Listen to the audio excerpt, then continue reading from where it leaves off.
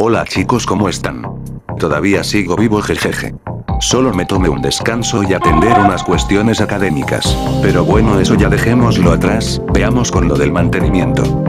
Ayer como a la una de la mañana me parece estaba jugando Treeline, y digamos que estaba editando un video relacionado a este. Entonces cuando me dormí y desperté en la mañana me toqué con esto.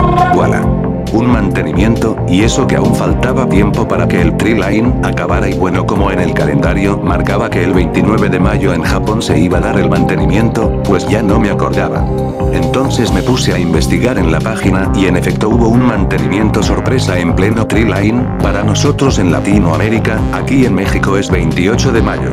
Y allá en Japón pues ya es 29 y era de esperarse, el mantenimiento lo hicieron más temprano como nosotros acostumbrábamos. Y bueno respecto a esto mis chicos, yo les diré que no hay que temer, es un simple mantenimiento solo que pues lo hicieron más temprano. Según SNK el motivo del mantenimiento de emergencia y la razón para que lo hayan hecho más temprano y repentino fue por un problema del servidor que ellos tuvieron, yo desconozco de qué problema se trate. Pero es algo que yo no lo veo tan grave por el momento, mientras siga MSA en pie no hay problema.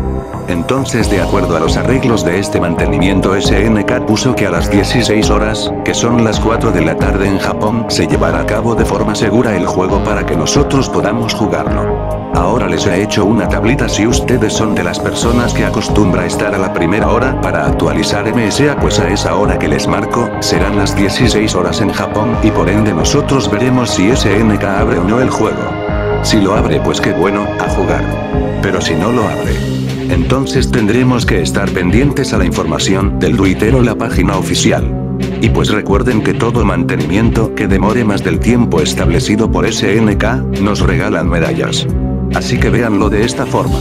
No está tan mal después de todo. Solo esperar.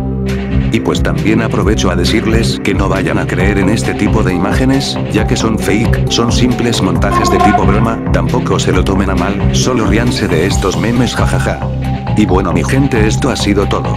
Yo sigo vivo no se preocupen, poco a poco subo más vídeos para el canal, los veo en otro video. Hasta pronto.